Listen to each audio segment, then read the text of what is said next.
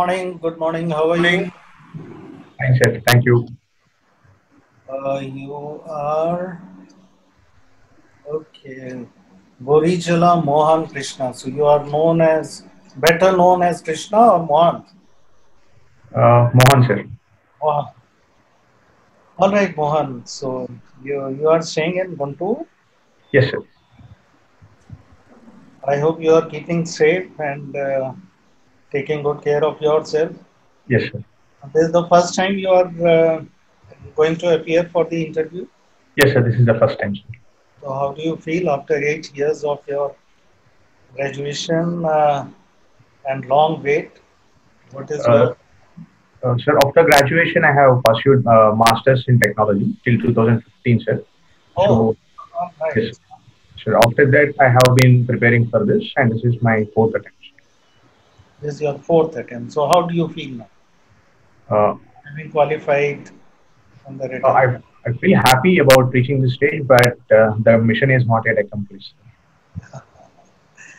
All right. I find that you you studied in Tanjavur also for some time. Yes, sir. All right. Tell us more about Tanjavur and the architectural uh, beauty of Tanjavur that it has. Sir, uh, Tanjavur is famous for uh, Dravidian architecture, and it has famous Brihadishwara temple built by Cholas. Uh, and sir, it is also famous for uh, the Tanjavur paintings, uh, which has certain hallmark features such as usage of uh, gold foil in the paintings. And it is also famous for musical instruments such as veenas. Tanjavur veenas are very famous uh, instruments used in Carnatic music. I think And- that's the only place where Veena is made uh, these days. Not many places because Veena is already uh, in the need of ventilator. Sir, uh, even in uh, Tanjavur, the, the the people who make uh, they they they have, they're shifting to other locations because of lack of demand. Okay, tell us some uh, qualities that are not mentioned in your deck about yourself. Why should you be uh, picked up for civil services? Uh, sir, uh, firstly, I would uh, say my interest in civil services is what makes me eligible. That uh, I have chosen this path. I wanted to uh, pursue this career despite the consecutive failures. And secondly, sir, the perseverance that I have developed over these past four years in the preparation, I believe will enable me to not get bogged down by initial failures and, and persevere till I reach the goals. So that I feel is an essential uh, essential uh, feature for any administrator. And uh, thirdly, sir, my technological background will enable me to bring uh, to bring the intersection of technology and administration in this era of uh, the governance. So, very well said. And between toughness and resilience, which quality would you prefer and why?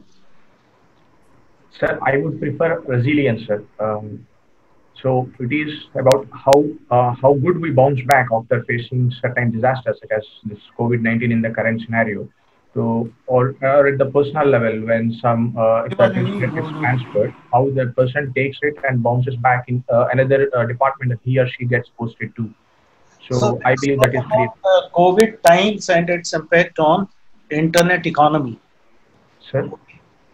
COVID times and its impact on internet economy Sir. with reference to India only.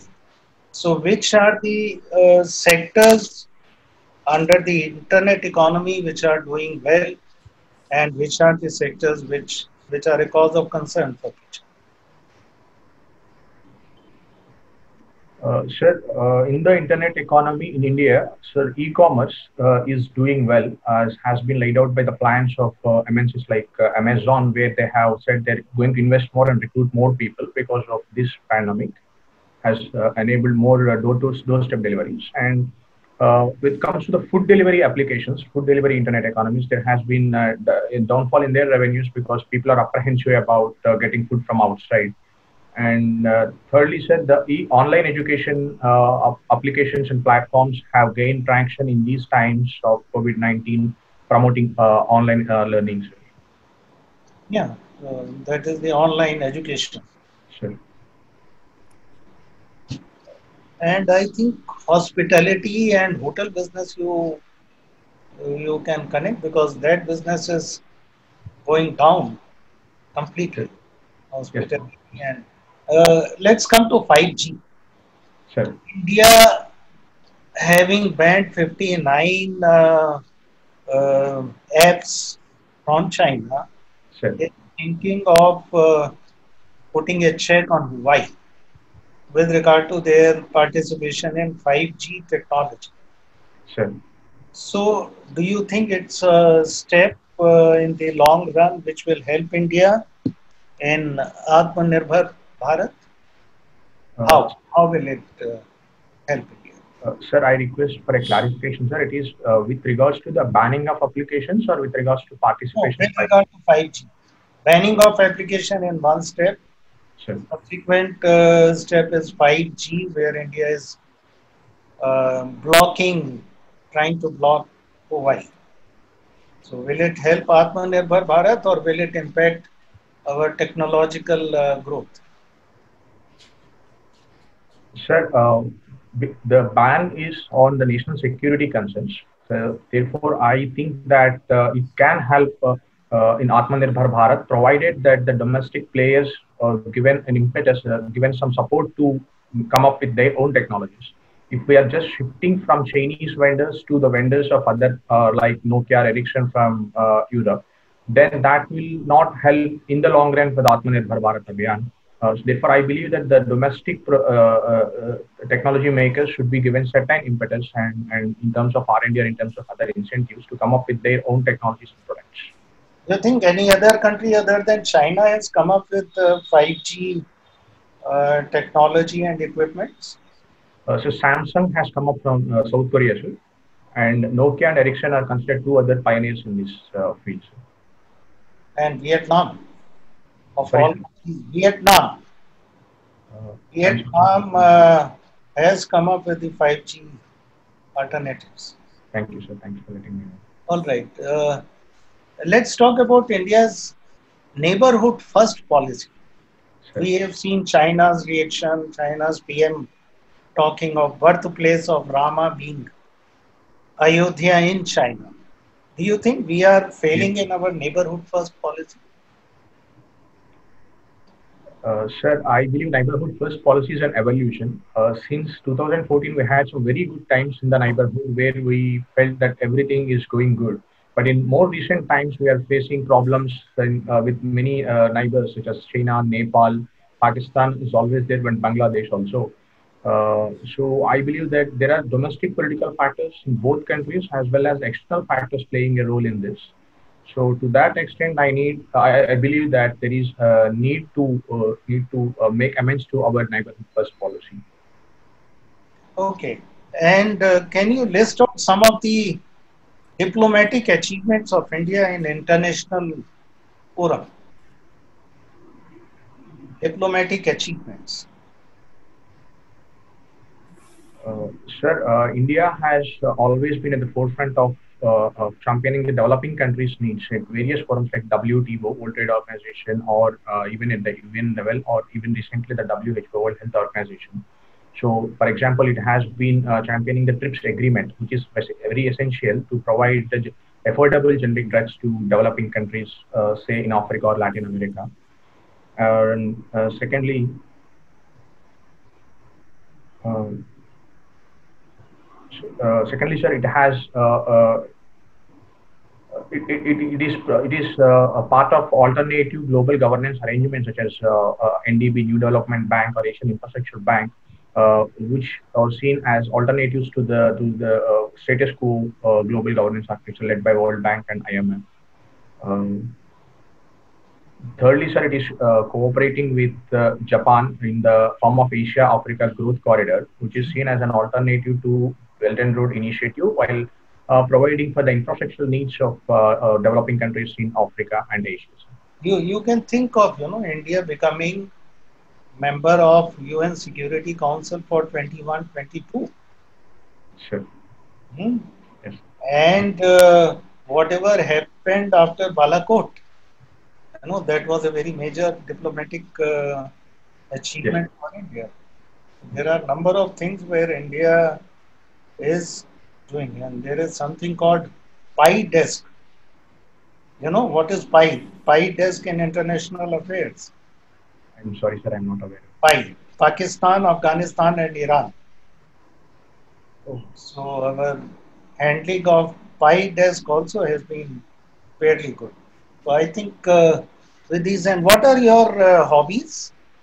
Uh, sir, writing uh, emails to government functionaries. Uh, Yeah, yeah, yeah. I I was wanting to ask you, eh, have these uh, uh, emails, uh, writing emails to various government functionaries, yielded uh, any outcome that you wanted? Sir, uh, implementation on implementation side, uh, it has not led to significant outcome, but I have received rec- uh, replies from them that acknowledging that they're taking into consideration certain suggestions that are made to them. Uh, for instance, uh, in March, I have written to the secretaries of uh, Health, Health and Family Welfare and Information Technology, as well as CEO of Niti Aayog, about the need for contact tracing application in the wake of COVID-19, which I have observed in the Singapore government's Trace Together app.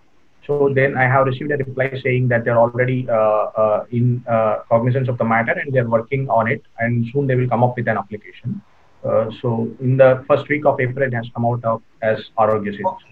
So you think writing mails does does give some result? Last question before I wind up with, with your uh, background in ICT.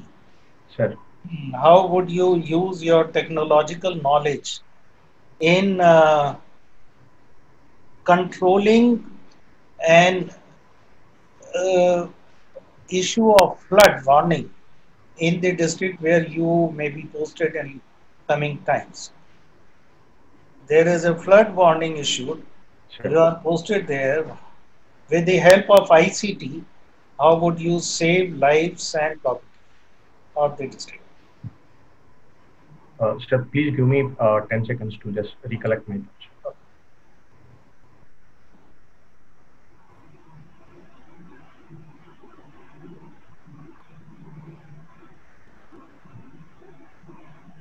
Uh, sir, firstly, uh, I would uh, use the medium of mobiles and social media to communicate to uh, the persons in my district about the impending floods and the measures that need to be taken, uh, especially those areas where uh, which are highly flood, flood prone areas.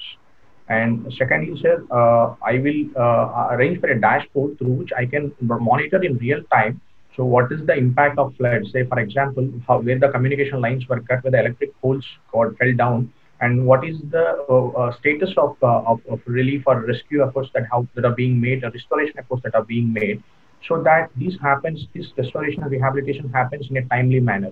Thirdly, I will set up a grievance redressal mechanism uh, through online, and, and and I will work so as to ensure that the communication lines are, uh, are restored at the earliest because these all mechanisms work on the basis of communication uh, technology. So I will set up for an online grievance redressal mechanism uh, for anybody to complain about the relief and rescue or efforts. Okay, you can brush up your reply. I think couple of points you could have added. Uh, Chahar? Yes, sir. Uh, yes, Kapil, sir. Acha, Hello, Mohan. uh, Hello, Mohan. How are you? Thank you. So you're from Guntur, right? Uh, Mohan is your initial, your uh, name. You you are better uh, known as Mohan. Uh, sir, my initial is Gurijala, sir. My surname okay. is Gurijala. My name is Mohan Krishna, sir. Mohan. Okay, Yes. fine. Mohan and Krishna, both these names are of Lord Krishna. Yes, sir. How many other names of Lord Krishna do you know? Uh, sir, uh, sir, like Murali Krishna, Gopala Krishna, or um, Madhura Puri Sadhana. There, there are many names that, that are not striking my mind at the moment. How many can you recall just now? Sir, uh, sir, Murali Krishna, Gopala Krishna, or uh, uh, Madhusudan, Mad, Mad. Mad, There are many names. yes, sir. Okay. Uh, as soon as I uh, hear this name Guntur, your district's name, my mouth start gets gets this burning sensation. Why? Sir, uh, Guntur is famous for chilies. Sir. Okay. So that could be the reason. That could be the reason. Tell us something about Guntur chilies. Why Guntur is so famous for chilies world over? Uh, sir, Guntur chilies, uh, especially the variety that is uh, grown here is Guntur Sannam chilies, which is uh, uh, famous for uh, its spiciness and it, it, has a specific geographical indication associated with this area. Uh, Okay, it is uh, within the country as well as it is exported to countries like Bangladesh. Uh, it is one of the earliest districts to adopt this cash crop of chilies and uh, and there is uh, Asia's largest mirchi market at in the in in, in Guntur. In Guntur. Yes, sir. Do you know which which uh, chemical is responsible for this burn, burning sensation in the chilies? I'm sorry, sir. I'm not aware of it. Okay, fine. Uh, your uh, Guntur district lies in the delta of which river? Sir, Krishna River, sir. Krishna River. And you have studied, you have done your BTech in, in Thanjavur in Tamil Nadu. Yes, sir. And Thanjavur lies in the delta of which river? Kaveri River, sir. If you compare the deltas of these two rivers, what is the basic difference between the climate of these two deltaic regions? Uh, sir, in Tanjavur, I have observed extremities of temperature uh, were seen in Tanjavur. The temperature levels are very high in Tanjavur. Uh, Okay. Other than that, uh, the availability of water or the crops that are grown are very much common. The paddy, it is famous for paddy in both regions. The Delta regions are famous for paddy uh, in Tanjavur as well as in the Krishna, Krishna Delta regions. If you compare the rainfall regime, then what is the difference of the pattern? Uh, I'm sorry, sir, I uh, cannot recall the statistic data about rainfall regions. No, I'm not talking about the statistical data, but uh, the rainfall regime. That means uh, Kaveri Delta uh, and Krishna Delta. What is the pattern of flow of the uh, river in these delta regions? That means uh, is Kaveri perennial throughout the river, throughout the year, or Krishna perennial throughout the year? Uh, so relatively, Kaveri is perennial throughout the year because uh, the Tamil Nadu part of Kaveri receives rainfall even during the northeast monsoon season, which is not the case for Krishna. Okay, fine. Have you noticed this thing while you were studying? You're pursuing your graduation those days. Oh, sorry, I have not noticed it sir. Okay, fine. As sir was asking about the great heritage of Chola art and architecture in Tanjavur, have you visited this temple, uh, Brihadishwara temple? Yes, sir. How old? Okay, how old is this temple? Sir, it is more than thousand years old, sir. So in fact, Exactly, do you, sorry, do you know the exact date of the construction of this temple? Sir, it is 1010 AD, sir. Uh, Yes, I was exactly. there when thousand year celebrations have happened. Yes. In 2000, in 2010, thousand year celebration was uh, celebrated. So it, it was built in 101 AD. Okay. Have you visited Charminar also? Yes, sir. I have visited. sir. It's in your state capital. What is the utility of this building? Other than it's a, other than the fact that it's a monument, it's a very famous monument. Uh, it's used as what is the other purpose of this building? Uh, sir, uh, other than a monument, it is a landmark. Uh, I am not aware of any other uh, uses. monument landmark and uh, it is used as something i mean is it a school is it a I am sorry, sir. I am not aware of any other use of it. it's a mosque Uh, sir, uh, sir, it is a Jama Masjid near Charminar. So Charminar by itself is not a mosque. Sir. charminar is also there is a mosque in charminar So, uh, I will check it again. Sir. Thanks. and uh, uh, i have gone through your biodata i have come to know that you have studied hindi and sanskrit in school can you speak in hindi and sanskrit also I can speak in Hindi, sir. Uh, I don't speak in Sanskrit. Sir. you can speak in hindi Yes, sir. Okay, fine. Uh, suppose you are appointed district magistrate of Guntur district. Then what all natural disaster you will have to grapple with? Uh, so the first is floods. Uh, at times the Krishna River floods happen. Uh, only in seasonal floods that are uh, possible. And uh, secondly, sir, uh, in the uh, areas that are bordering the Prakasam district, there is uh, uh, there are recurrent droughts happening uh, over the last few years. And Recurrent droughts also. droughts Recurrent droughts in Guntur. in the areas bordering, in very specific areas bordering uh, Prakasam district. Prakasam district. Yes, sir. Okay. And thirdly, sir, it being a coastal state, uh, it is prone to uh, tsunamis and cyclones. sir. It, it's prone to tsunami and Cyclones, and cyclones. sir. Okay. Um, how many cyclones per year normally?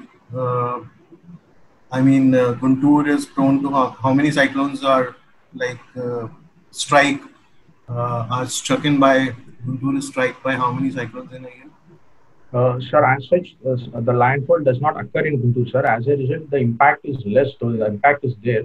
Uh, but the uh, landfall usually occurs near the Srikakulam district or Andhra Odisha border. It occurs there. So, as a result, the rainfall is there, but the uh, devastating impact is not seen in Guntur district. Sir. Okay, sir. Okay, shall I take over, sir? Yes, sir. Okay. Yes, Mohan, how are you? So, fine, sir. Thank you. Okay, your optional subject is PSIR. Yes, sir. Okay, so can you tell me what is Nutcracker doctrine? Uh, I'm sorry, sir. I am not aware of it. Okay, China is applying it to India. Okay, no issues. Okay, what uh, uh, can you tell us the difference between politics and political science? Uh, so political science is uh, study of politics. Uh, what is happening in the political domain, both empirically as well as uh, theoretically, is the study of politics. Okay, so why is political science an art then?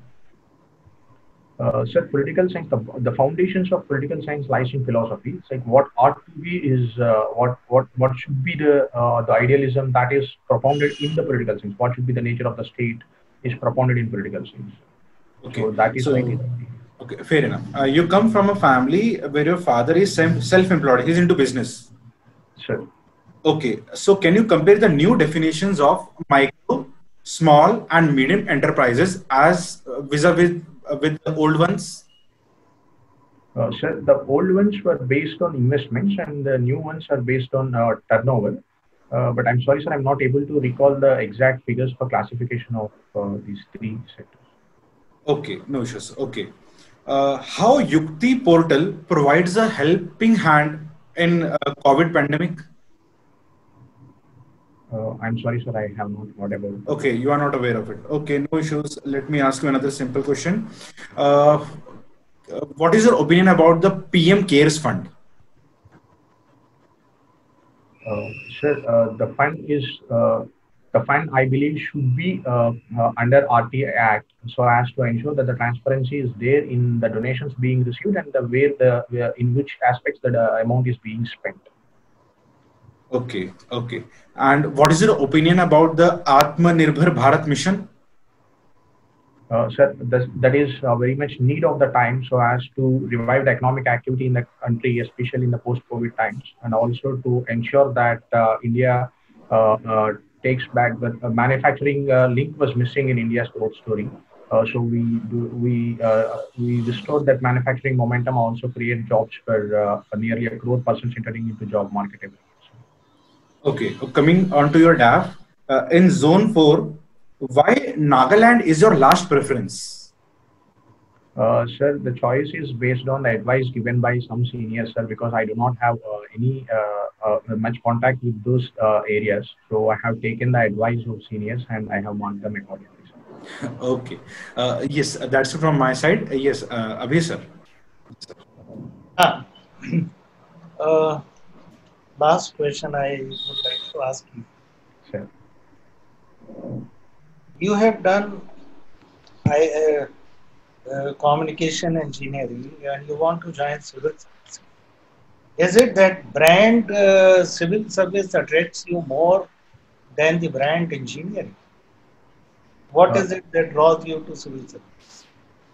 Uh, sir, for me, the satisfaction in the career or the profession that I pursue is as vital as the monetary earnings that I need to survive myself and my family. So I want to go for a balance between satisfaction and material requirements uh, in the career that I will have to live with for the next 30 years. So that is why I have chosen this profession. How will you tackle the problem of uh, or dilemma of phone tapping? If you are asked in your official capacity by by your politi- politician boss to do phone tapping, you think it is legitimate? What are the laws uh, governing phone tapping? Uh, sir, the phone tapping is governed by the Telegraph Act, sir. And there are due process uh, even spelled out by the judiciary that uh, uh, there is a proper the committee led by Home Secretary has to order the in case of phone tappings only by following a due procedure phone tapping can be done and the circumstances vetted by that committee. So uh, I will follow due procedures. You will follow the due procedure by telling. And how will you tackle corruption in, in day-to-day life? Uh, sir, I believe technology is a powerful weapon in tackling the uh, uh, in tackling the corruption because uh, it uh, averts the necessity to have a physical interface between the service provider as well as the as the, as the general public. Sir. So I will use technology like mobile applications or the grievance redressal online mechanisms. Uh, On one slogan would you remind yourself always to remember what you are saying today? When you reach very senior position, what one slogan will always guide you of what your aims and ambition and vision are? Uh, I'm sorry, sir, I cannot clearly get that question. What one slogan would always